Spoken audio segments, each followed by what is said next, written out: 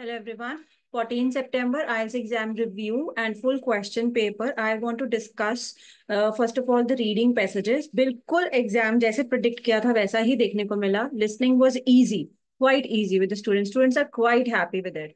And talking about the reading part, uh, only last passage was difficult जैसा कि prediction में बताया गया था. We got the same type of questions जैसे कि यहाँ पे लिखे हैं. First passage was related to black holes. There were true, false and blanks.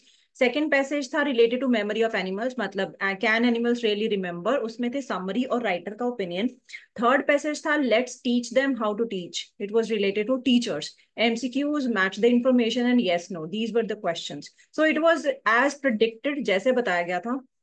Talking about our writing part, writing में task one was a combination of pie chart and bar chart जैसा कि हमने प्रडिक्ट किया था about packed bottles in different nations writing task two was about road safety and stricter punishment it is also given in the prediction so yes overall अगर आप देखें तो yes everything was available in the prediction list so अच्छे से preparation कीजिए prediction लीजिए. You can contact us for prediction you can go to the app this is about the predictions are given on the app you can see the results also the students have improved their results their marks in just 10 days next batch start हो रहा है 23rd September से जिसको भी अपने bands improve करने हैं in 10 days classes only they can join this is the app you can uh, download it you can get the predictions and contact us on this number uh, like the video share with the maximum number of students we'll see you in my next video